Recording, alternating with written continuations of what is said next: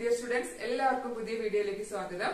അപ്പൊ നമ്മൾ ഇന്നത്തെ വീഡിയോ പ്ലസ് വൺ അഡ്മിഷനുമായി ബന്ധപ്പെട്ട ചില ഇൻഫർമേഷൻസ് ആണ്. അതിലെ സെക്കൻഡ് അലോട്ട്മെന്റിന്റെ കുറച്ച് കാര്യങ്ങളും അതുപോലെ ട്രാൻസ്ഫർ അലോട്ട്മെന്റ് ദെൻ ഇപ്പൊ നമുക്കറിയാം ഒരുപാട് കുട്ടികൾ എവിടെയും കിട്ടാത്ത ഒരു അവസ്ഥയിലാണ് പ്ലസ് ഫസ്റ്റ് അലോട്ട്മെന്റ് വന്നപ്പോ. അപ്പൊ അവരുടെ അടുത്ത് വളരെ ഇമ്പോർട്ടന്റ് ആയിട്ടുള്ള ചില ഇൻഫർമേഷൻസ് കൂടി ഷെയർ ചെയ്യുന്നുണ്ട്. അപ്പൊ നമുക്ക് നോക്കാം. ഇപ്പൊ നമ്മുടെ ഫസ്റ്റ് അലോട്ട്മെന്റിന്റെ ആദ്യത്തെ രണ്ട് ദിവസങ്ങൾ അഡ്മിഷന്റെ രണ്ട് ദിവസങ്ങൾ കഴിഞ്ഞു. ഇരുപത്തിമൂന്ന് ഇരുപത്തിയഞ്ച്. ഇനി നമുക്ക് ഒന്നാം തീയതി കൂടിയാണ് അഡ്മിഷൻ ഉള്ളത്.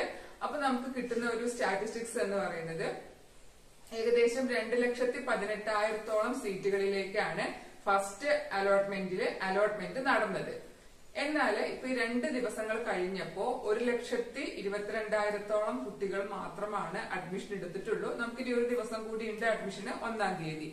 എങ്കിലും അലോട്ട്മെന്റ് കിട്ടിയ ഒരുപാട് കുട്ടികൾ ജോയിൻ ചെയ്യാതെ ഉണ്ട് എന്നുള്ള കാര്യമാണ് ഇതിൽ നിന്ന് മനസ്സിലാക്കാൻ കഴിയുന്നത്.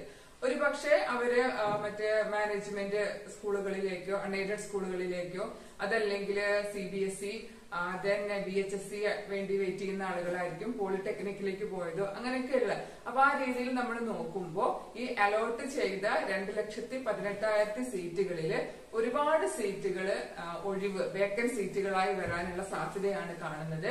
അതോടൊപ്പം തന്നെ ഫസ്റ്റ് അലോട്ട്മെന്റിൽ ആ, ഈ റിസർവേഷൻ കാറ്റഗറികളുടെ കുറേ സീറ്റുകൾ ഏകദേശം അൻപതിനായിരത്തോളം സീറ്റുകൾ വിവിധ കാറ്റഗറികളിലായിട്ട് വേക്കന്റായി കിടക്കുകയാണ്. അപ്പോ നെക്സ്റ്റ് അലോട്ട്മെന്റിലും കൂടെ അത്തരം കാറ്റഗറിക്കാരുണ്ടോ എന്നുള്ളത് നോക്കിയതിനു ശേഷം അതിലെ ഒട്ടുമിക്ക സീറ്റുകളും ജനറൽ ആയിട്ട് ജനറൽ മെറിറ്റിന്റെ അടിസ്ഥാനത്തിൽ അലോട്ട്മെന്റ് നടക്കും. സോ ഇപ്പൊ ഇതെല്ലാം പറയുന്നത് എന്തിനാന്ന് വെച്ചാൽ സീറ്റ് കിട്ടാതെ പുറത്തു നിൽക്കുന്ന ഒരുപാട് കുട്ടികളും അതോർത്ത് ആശങ്കപ്പെട്ട് കഴിഞ്ഞ രക്ഷിതാക്കളും ഉണ്ട് അപ്പൊ അവരുടെ അടുത്ത് ആണ് ഷെയർ ചെയ്യുന്നത്. കാരണം സെക്കൻഡ് അലോട്ട്മെന്റ് നമുക്ക് ഒക്ടോബർ ഏഴാം തീയതിയാണ് വരാൻ പോകുന്നത്. അപ്പൊ ആ ഒരു സെക്കൻഡ് അലോട്ട്മെന്റിൽ ഇപ്പോ പുറത്ത് നിൽക്കുന്ന ഒരുപാട് കുട്ടികൾക്ക് അലോട്ട്മെന്റ് കിട്ടുമെന്നുള്ള കാര്യമാണ് നമ്മൾ മനസ്സിലാക്കേണ്ടത്. മറ്റൊന്ന് അതോടൊപ്പം തന്നെ ഫസ്റ്റ് അലോട്ട്മെന്റിൽ പതിനഞ്ചാമത്തെ പതിനാറാമത്തെ ഒക്കെ ഓപ്ഷനിൽ കിട്ടിക്കിടക്കുന്ന കുട്ടികൾക്ക് അവരുടെ ഹയർ ഓപ്ഷനുകളിലേക്ക് അവർക്ക് അവർക്ക് അലോട്ട്മെന്റ് കിട്ടുന്നതായിരിക്കും. ആ ഒരു വിവരം കൂടി ഷെയർ ചെയ്യുന്നു.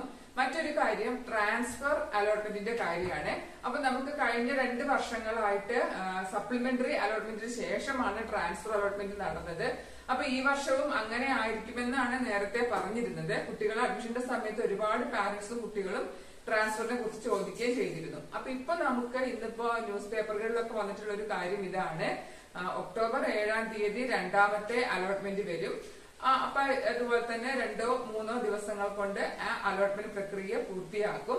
അതിനുശേഷം കോഴ്സ് ആൻഡ് കോമ്പിനേഷൻ അല്ലെങ്കിൽ school transfer school and combination ട്രാൻസ്ഫറുകൾ ആണ് നെക്സ്റ്റ് നടത്തുക എന്നും അതിനുശേഷമായിരിക്കും സപ്ലിമെന്ററി അലോട്ട്മെന്റും എന്നുമാണ് അത് നമുക്ക് ഒരു ന്യൂസ് കിട്ടിയിട്ടുള്ളത്. അപ്പൊ അങ്ങനെയാണെങ്കിൽ അത് കുറച്ചുകൂടി കുട്ടികൾക്ക് അനുകൂലമായിട്ടുള്ള ഒരു കാര്യമാണ് അതായത് സെക്കൻഡ് അലോട്ട്മെന്റിന് ശേഷം ഒഴിവ് വരുന്ന സീറ്റുകളിലേക്ക് അവർക്ക് ട്രാൻസ്ഫറിന് കൊടുക്കാനുള്ള ഒരു സാധ്യത തെളിഞ്ഞു വരുന്നു എന്നുള്ളതാണ് നമുക്ക് മനസ്സിലാക്കാൻ കഴിഞ്ഞത്. സോ നിങ്ങൾ എന്ത് ചെയ്യുക? കാര്യങ്ങൾ കൃത്യമായിട്ട് അന്വേഷിച്ചുകൊണ്ടിരിക്കണം. ഇപ്പൊ ഫസ്റ്റ് അലോട്ട്മെന്റ് വന്നിട്ട് അത് അറിയാതെ സ്കൂളുകളിൽ റിപ്പോർട്ട് ചെയ്യാത്ത ഒരുപാട് കേസുകൾ ഉണ്ടായിട്ടുണ്ട്. സോ നിങ്ങൾ ഏതെങ്കിലും ഒരു ഒന്നുകിൽ സ്കൂൾ ടീച്ചേഴ്സുമായിട്ട് കോൺടാക്ട് ചെയ്യുക. അതല്ലെങ്കിൽ എച്ച് എസ് ക്യാപ്പിന്റെ സൈറ്റ് എടുക്കുന്ന നോക്കുക. അപ്പൊ എങ്ങനെയാണെങ്കിലും നിങ്ങൾ അപ്ഡേറ്റഡ് ആയി നിൽക്കേണ്ടത് അത്യാവശ്യമാണ്. വിവരങ്ങൾ കൃത്യമായിട്ട് അറിയാൻ വേണ്ടിയിട്ട് അപ്പോ അലോട്ട്മെന്റ് കിട്ടാത്തവർ വിഷമിക്കേണ്ട നമുക്കുള്ള സാധ്യതകൾ ഇനിയും കിടക്കുന്നുണ്ട്. പിന്നെ ട്രാൻസ്ഫർ വരികയാണെങ്കിൽ തീർച്ചയായിട്ടും നിങ്ങളെ അറിയിക്കുന്നതായിരിക്കും. അപ്പോ ട്രാൻസ്ഫർ അലോട്ട്മെന്റ് ആഗ്രഹിക്കുന്ന കുട്ടികൾ ആ സമയത്ത് ട്രാൻസ്ഫർ കൊടുക്കുക. ഓക്കെ? നെക്സ്റ്റ് ഇൻഫോർമേറ്റീവ് ആയ വീഡിയോയുമായി വരുന്നത് വരെ. ബൈ.